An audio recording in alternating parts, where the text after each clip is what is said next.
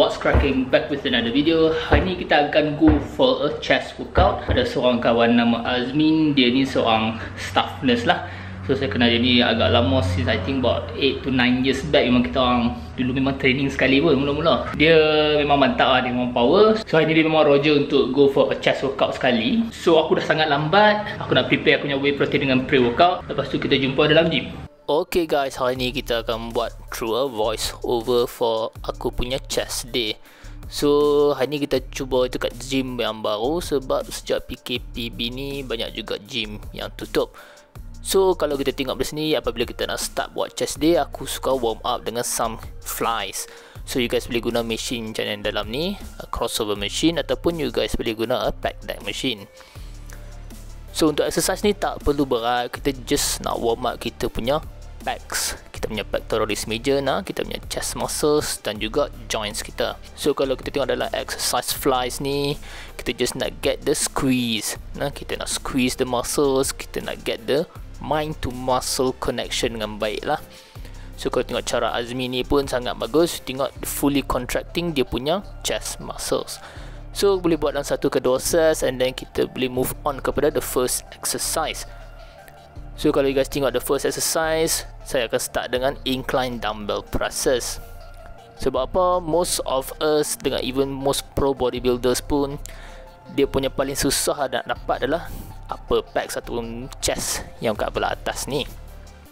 So dengan dengan kita prioritize incline bench press Kita boleh sebab kita lagi banyak tenaga pada waktu awal-awal ni Kita boleh target upper pecs ni lebih baik lah So dia tengok uh, cara Azmin sangat bagus. Tengok dia ni pun dah professional lah. Dia ni pun dah main lama dah. So the idea is Kita nak stretch And kita nak contract. Kita nak fully contract the upper pecs.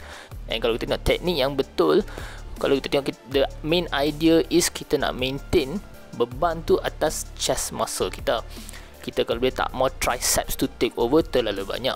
So untuk nak elak daripada triceps take over kita jangan lock out dekat atas kalau tengok betul-betul teknik saya saya punya elbow tak akan lock out sampai habis dekat atas. Masih ada bend sedikit. So bila ada bend beban tu still akan ada atas chest muscle kita.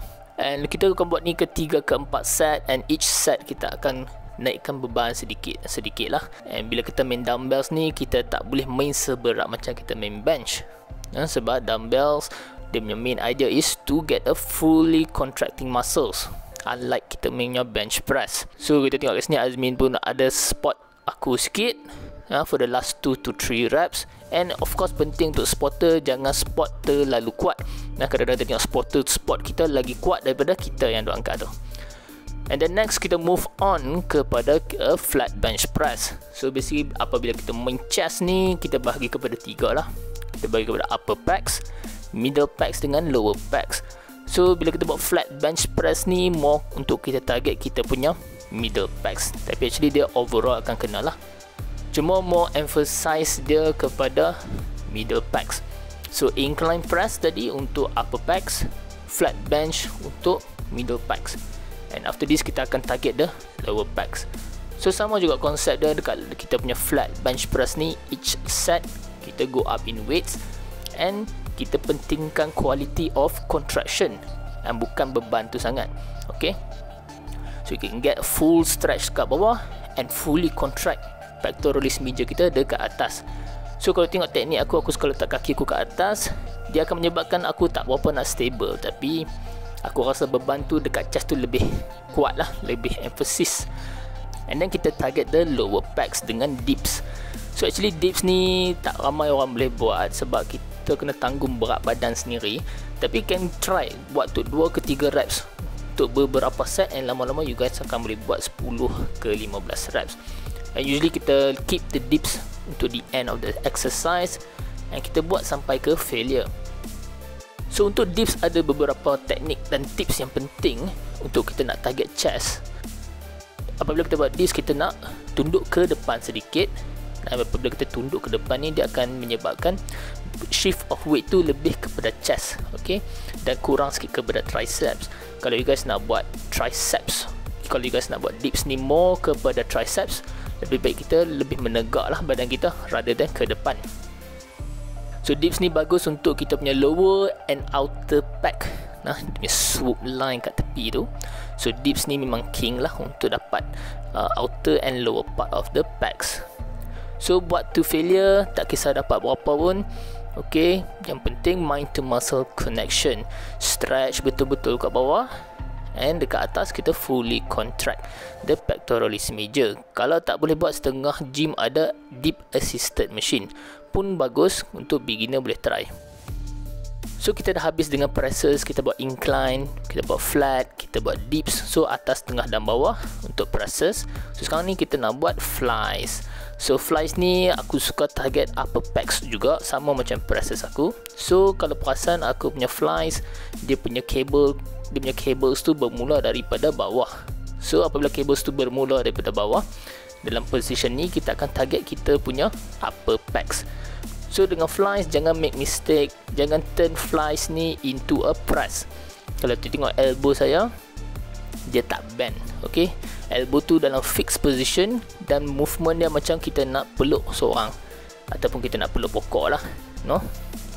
So Jangan go too heavy Moderate weights. Yang penting quality Rather than quantity. So quality of contraction And technique tu sangat penting lah untuk fly So kita akan bermula daripada bawah and sekarang ni kita akan mula ke dan sekarang kita akan naikkan cables tu ke tengah untuk target kita punya middle packs. Sama konsep macam kita buat presses tadi. So kita tengok Azmi kat sini sama juga tengok elbow dia tak bergerak banyak. Okay, get a full contraction apabila kita buat flies. So untuk muscles ni not only contraction kita punya concentric tu penting tapi eccentric maksudnya stretch tu pun sangat penting okay stretch and contract. Stretch and contract. So tengok kat sini. Kalau perasan cables tu ke belakang dan kita contract. Squeeze hold setengah saat ke depan.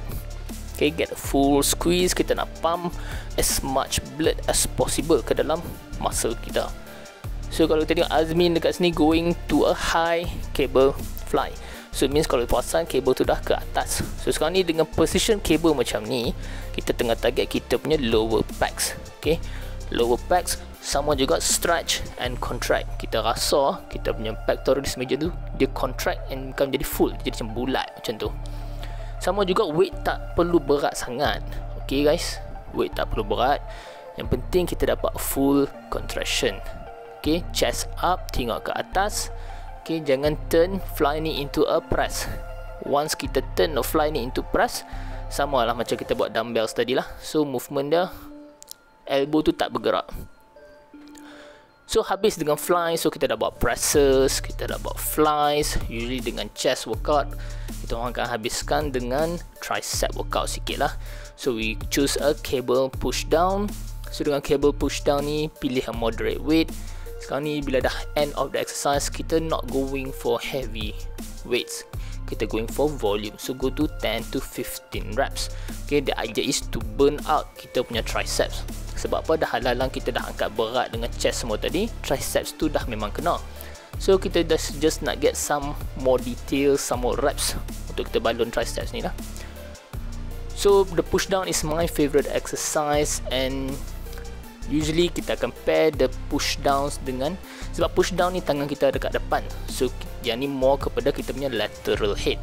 Untuk kita nak hit kita punya long head so kita kena stretch tangan kita ke belakang macam aku buat kickback ni. So dulu kickback aku buat guna dumbbell tapi aku rasa menghayun dumbbell tu lebih daripada rasa contraction tu. So dah lama aku choose cable kickbacks ni aku rasa a much better contraction lah dengan kita buat exercise kickback macam ni So dengan kickback ni kita akan target more kita punya long head. Sama juga macam overhead tricep extension. Selalu kita tengok orang buat pakai dumbbells tapi you guys boleh buat pakai cable juga. Basically cable ni ada advantage sebab dia make a constant tension lah dekat muscle kita tu. And dia punya burn kalau kita nak nak lepas pun taklah risau sangat. Kalau kita lepas dumbbell tu takut kena kaki, kena orang dan sebagainya lah. So try overhead tricep extension. You guys nak buat super set pun boleh. Tapi in this case Kita orang buat 3 ke 4 set uh, Each exercise lah. So tengok Azmin doing the overhead tricep extension Memang burn dia tu lain macam lah Walaupun tak berat sangat. Eh, Sebab kita tengah stretch Tricep tu ke atas. And you guys kalau nak tangan yang besar jangan always fokus dekat biceps. Fokus dekat triceps because kebanyakan mass kat tangan kita ni berada dekat tricep. Tricep kalau kita tengok tangan daripada tepi tricep make two third nah dua per tiga tangan kita tu adalah tricep. So kalau nak tangan besar develop lah tricep anda. So kita dah nak end our workout dengan overhead tricep extensions. So a little bit of posing at the end of the workout. Nah kita posing sikit. Posing ni bukan nak buat style ke apa. Kita just nak act kita just nak contract muscle tu sekuatnya mungkin to squeeze muscle tu kalau hampa perasan kanan dan kiri tricep aku tak berapa sama lah. Disebabkan uh, obviously kita akan ada dominant hand kuasa tricep dominant aku memang belah kanan lah. So need to work on my left tricep more. That's the video guys. Aku orang apa suka konten seperti ni. Jangan lupa like dan subscribe. Tinggalkan soalan anda di ruang komen di bawah. Kita jumpa dalam video seterusnya